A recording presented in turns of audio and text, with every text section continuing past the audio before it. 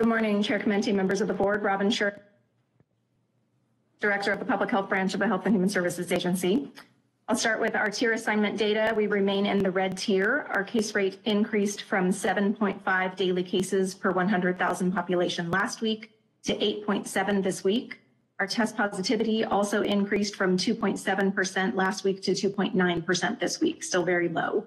Again, as long as it stays at or below 8%, then a case rate of less than six would qualify us for the orange tier, and we would need to meet that criteria for two weeks in a row before we would move to the orange.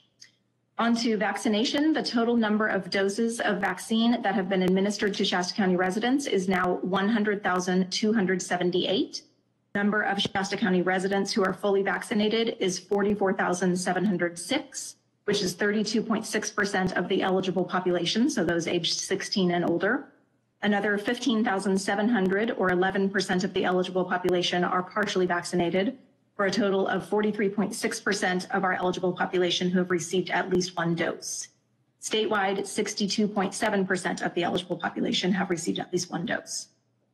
And yesterday, the FDA extended the emergency use authorization for the Pfizer vaccine from 16 and older to 12 and older the next step is for the ACIP, which is the CDC's Advisory Committee on Immunization Practices, to meet and vote on use of the Pfizer vaccine for this newly authorized population, those aged 12 to 15.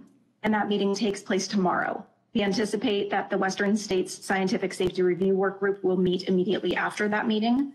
And if all of those groups agree that the data on safety and efficacy of this vaccine for this age group warrants authorization, then vaccines should be available to this age group potentially as soon as Thursday or Friday of this week.